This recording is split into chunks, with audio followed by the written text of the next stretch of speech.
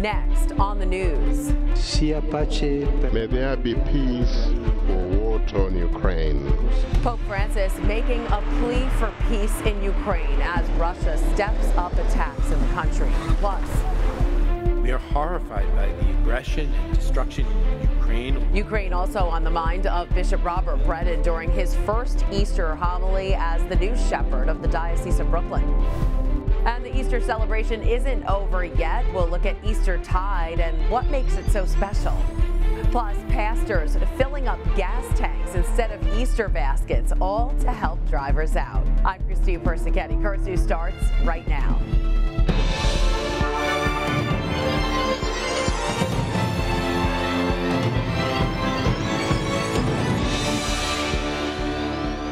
Russia not letting up on its attacks in Ukraine, one of the latest strikes hitting a hotel sheltering those fleeing the war. They fled the fighting in other parts of the country to come to Lviv, where they thought they'd be safe. The assault happened on Monday, right after the Easter weekend, where the Pope once again denounced the war and urged people to pray for peace. Christos Voskres. Pope Francis ending his homily at the Easter Vigil saying Christ is risen in Ukrainian, acknowledging a delegation that came from the war torn country. The following day, tens of thousands packed St. Peter's Square for the Easter Mass, where during his traditional Easter blessing, the Holy Father condemned the war. Sia pace per May there be peace for Ucraina, war-torn Ukraine, so sorely tried by the violence and the destruction of the cruel and senseless war into which it was dragged. Those pleas seemingly falling on deaf ears as a Russian missile hit this tire repair shop in Lviv. A total of five missile strikes were carried out in the western city, which had been seen as a relatively safe place for those trying to escape the war. But another blast shattered windows at a hotel housing evacuees. At least seven people were killed and 11 injured, including one child. Patris et Filii et Spiritus Sancti. Before delivering the long awaited Urbi et Orbi blessing, Pope Francis asked the world to pray for peace. Si scelga la pace, si smetta di mostrare i muscoli mentre la gente soffre. Per favore, per favore, non abituamoci alla guerra. Impegniamoci tutti a chiedere a gran voce la pace, dai balconi e per le strade. Pope Francis said the Ukrainian suffering calls to mind all those who suffer throughout the world, and he asked people to pray for Africa, the Middle East, and Latin America. Coming up on Currents News, we take a look at Easter celebrations in Ukraine, the joy of Christ's resurrection shrouded by a Russian invasion, the streets emptying as the fighting ramps up amid relentless air raid sirens. That's coming up on Currents News. In the Diocese of Brooklyn, Bishop Robert Brennan remembered the people of Ukraine. Easter Mass was held at the Cathedral Basilica of St. James in downtown Brooklyn. It was his first as the head of the diocese. During his homily, Bishop Brennan called on Catholics to get rid of the things that cause bitterness in us, especially in light of the war and the recent subway shooting. We are horrified by the aggression and destruction in Ukraine, along with the targeting of civilians, even of children. We are united in prayer for them, and I thank you for your generosity in response to helping those who are giving relief. We still feel the effects of the pandemic that afflicted us these past two years. And we cry out against the violence afflicting our city. Not only the recent subway shootings, but all the violence in our streets. Bishop Brennan went on to say on Easter Sunday, we defy violence and oppression, and Jesus comes to give us new direction and bring hope to our lives. To watch Bishop Brennan's full homily, just go to our website, currentsny.tv. You could still contribute to the Ukraine Relief Fund Bishop Brennan was talking about thanks to the Diocese of Brooklyn's Compostela Fund.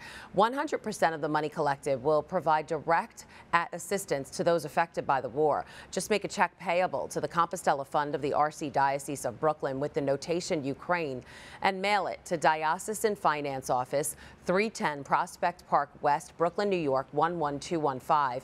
You can also give online at catholicfoundationbq.org slash Ukraine. The night before Easter, Bishop Brennan welcomed new Catholics through the Easter Vigil.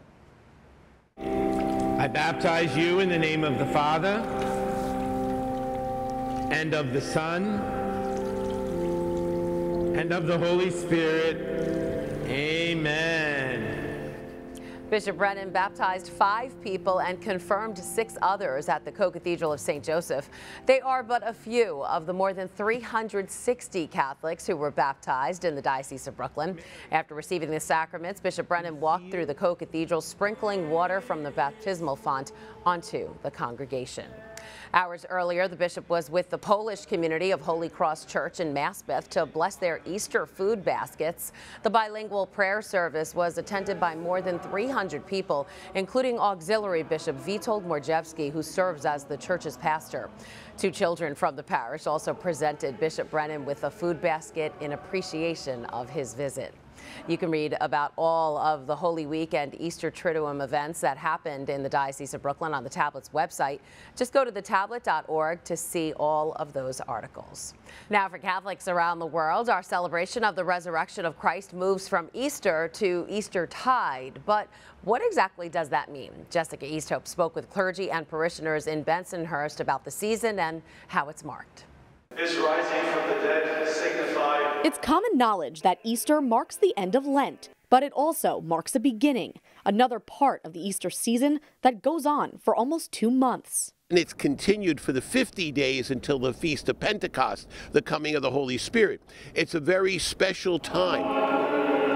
Called Eastertide, the time between Easter and Pentecost, when the Holy Spirit descended on Jesus' disciples on the seventh Sunday after Church Easter. For the 50 days. This is a constant reminder that Jesus is the light of the world. Monsignor David Cassato says the Polish, Irish, and Italians have their own ways of celebrating Easter Monday and observing this time. Most people in Italy take the day off and they go to the country and celebrate all the leftovers, all the leftover food. You do Divine Mercy? Nila Ruggieri and Vittoria Spagnolo say Eastertide is a time to live the joy of Easter and the hope of the resurrection. The Holy Spirit comes and enables us with His power, with His strength, and with His joy. And that was the way to go to the disciples and show He's there with us. Say the rosaries every day, at least 15 a day. On any given day, you can find Carlo Formisano at St. Athanasius, alone, praying the rosary. For him, Eastertide is a time to give,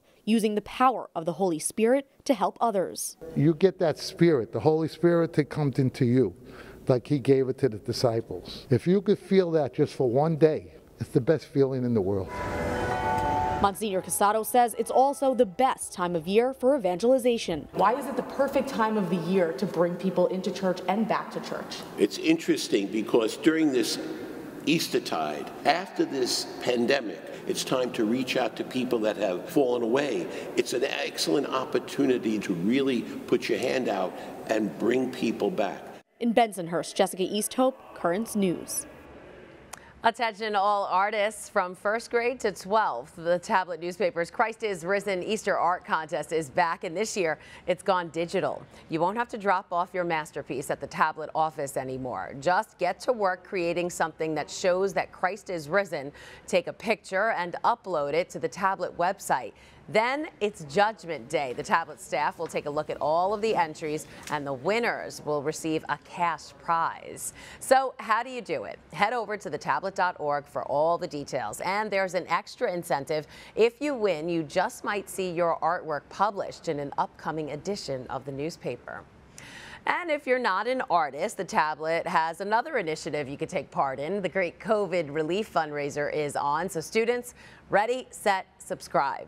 The person who sells the most subscriptions to the tablet will get money back for not only themselves, but for their school as well. And that's not all. Every new reader you earn for the Brooklyn paper will get you that much closer to this year's grand prize of $3,000. But you better hurry up. Students have until April 29th to sell the subscriptions. And don't worry, you can still participate even if you don't know a kid taking part. Just go to thetablet.org slash COVID relief fundraiser. There you can select the parish school of your choice. You can also extend your subscription if you're already a big fan of the tablet. There's a lot more news headed your way. They say the subways are safe. New York City's mayor and police commissioner try to reassure the public less than a week after the Brooklyn shooting attack. Plus, the Easter holiday weekend turned out to be a violent one across the U.S. And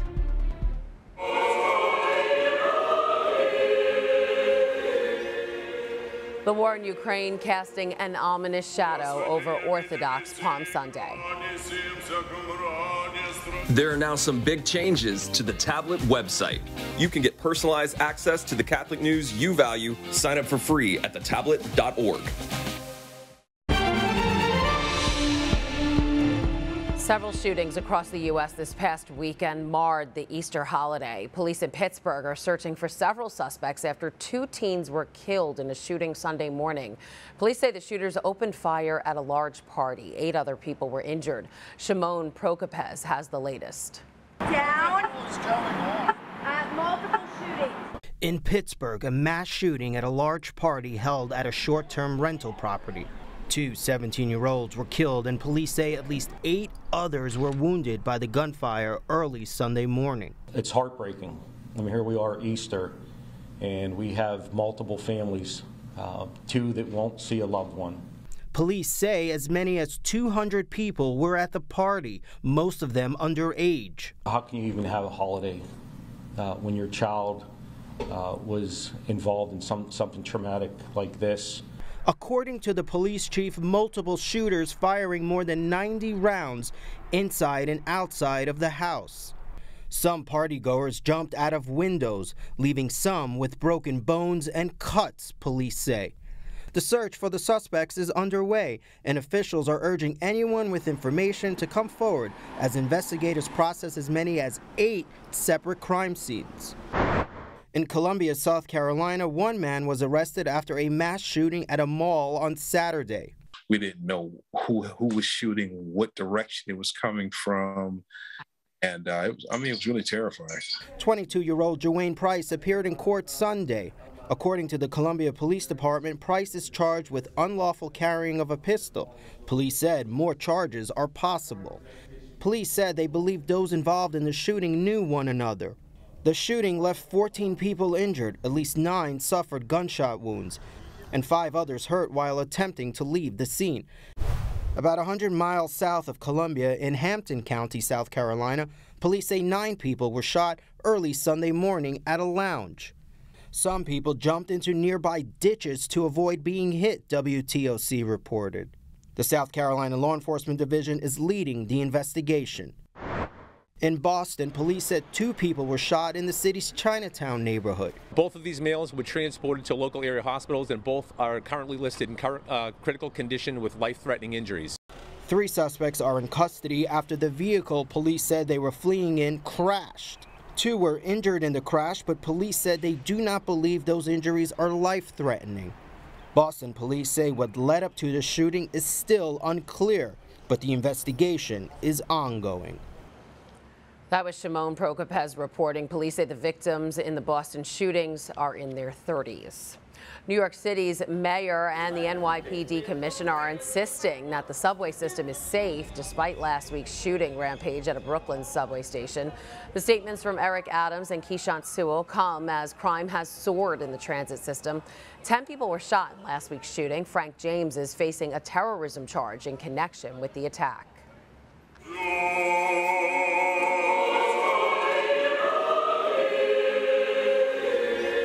The distant thunder of shelling momentarily replaced by the songs and prayers of Ukraine's faithful. In years past, it would have been a joyous celebration, but with many caught in the middle of Russia's war, this year's Orthodox Palm Sunday was more about being comforted rather than commemoration. As Clarissa Ward reports, the brief moment of respite comes as some are still trying to evacuate from the front lines. At the Alexander Nevsky Cathedral in Slavyansk, an ardent prayer from worshippers under the shadow of Russia's war. We ask for your mercy, Lord. Please hear us. They have gathered here for Orthodox Palm Sunday, carrying willows instead of palms per the Orthodox tradition.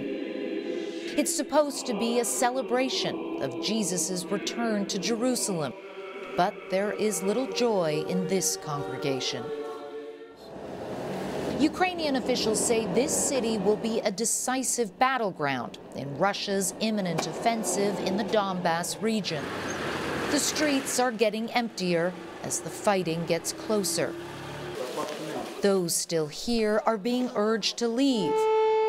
This group is awaiting an evacuation bus to the safety of western Ukraine. Raisa tells us she's taking her grandchildren to Lviv, their mother died three years ago.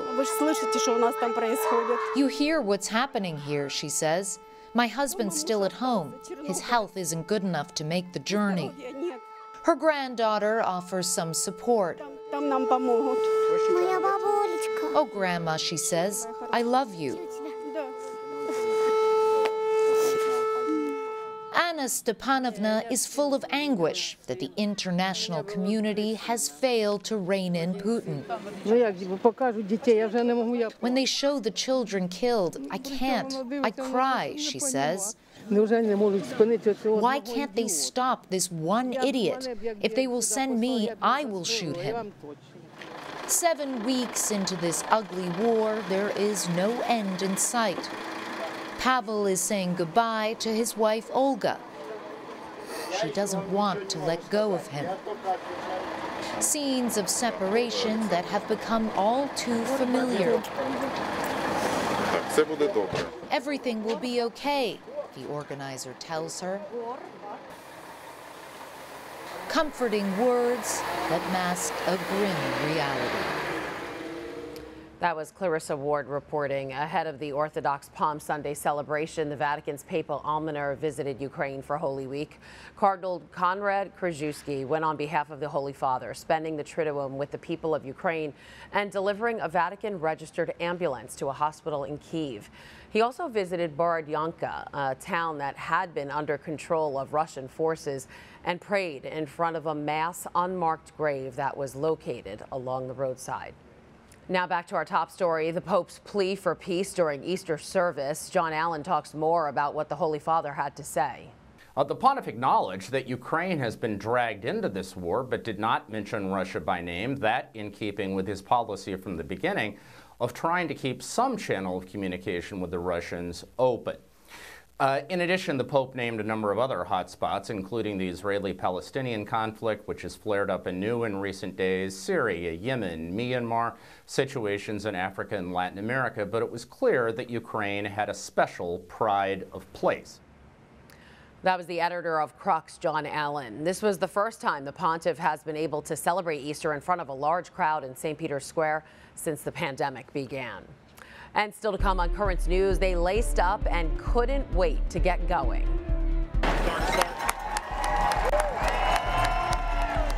The Boston Marathon gets underway amid some tight security. And the pastors who were busy filling up gas tanks instead of Easter baskets this holiday weekend. Do you have a story idea or want to share a tip? Email us at newstips at desalesmedia.org or call our 24-hour number 718-517-3122. We'll be right back.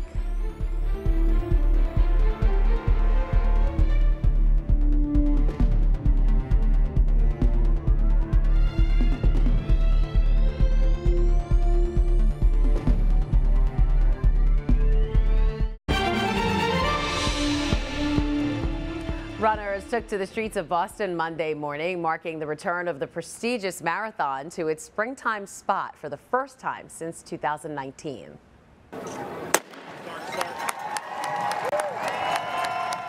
They're off. Roughly 30,000 people representing all 50 states and 100 countries tackled the 26.2 mile run. It's a triumphant return after the pandemic forced officials to cancel the 2020 marathon and postpone last year's race until October. Some parents in Michigan are upset because a kindergartner shared a bottle of tequila during snack time. School officials say the child shared a bottle of Jose Cuervo with her classmates before a teacher stopped it. Megan Woods has the story. With so many thoughts running through my mind, like, oh my God, what if, you know, what if it was open before the girl brought it to school? How much was it? Like Alexis Smith says Thursday morning she got a call from her daughter's school, Grand River Academy. They told her a kindergartner brought a pre-mixed bottle of Jose Cuervo to class and shared it with four classmates. One of them was Smith's five-year-old. I asked her, like, is my daughter okay? Um, and she said, she's right here and she looks okay. And then I said, okay, well, how much does she drink? The school couldn't get her a definite answer. My daughter take medicine, and first off, no kids should be drinking, and you know that, you know, just the shot itself, it, it burned. Like, how do you feel? Like, anything could have happened. She picked her daughter up from school early, and later that day, the principal sent out this letter addressed to kindergarten parents saying, in part, quote, disciplinary measures will be taken in accordance with the student code of conduct. And while school was closed Friday, Smith says her daughter will not be back on Monday. It's so heartbreaking. I feel like her first year kindergarten was already cut short because of COVID and situations like this just make it worse. That was Megan Woods reporting. School officials say they have addressed the situation but can't share the details because of student privacy laws. Some pastors in Detroit spent their Easter weekend easing their congregation's pain at the pump. The religious leaders were filling gas tanks instead of Easter baskets. They provided $6,000 worth of gas in 10 gallon increments to drivers in need. In addition to filling up their cars, the pastors also offered prayers for safe travel. Members of the United Dance Team for St. John's Prep acting like Easter bunnies for children in need. The team's annual Easter Basket Project put together 510 baskets that were custom made and tailored to a child's age and gender. On the morning of Good Friday, they were delivered by faculty and alumni to three family shelters in Queens. The baskets were made possible through generous donations from the St. John's Prep extended family, including many alumni. That's awesome.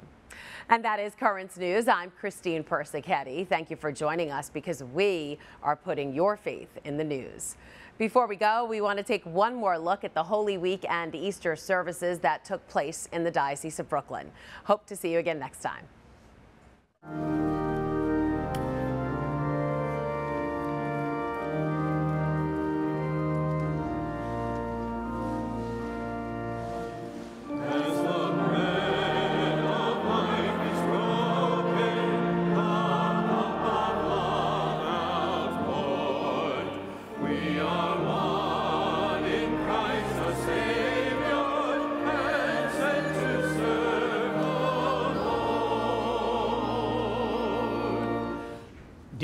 Brothers and sisters, on this most sacred night in which our Lord Jesus Christ passed over from death to life, the Church calls upon her sons and daughters scattered throughout the world to come together to watch and pray.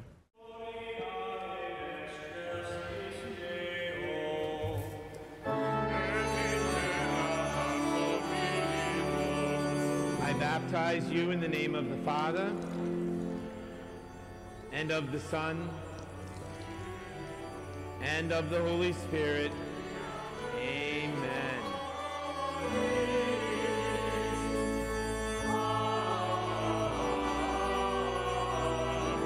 Christ is risen. He is truly risen. Alleluia.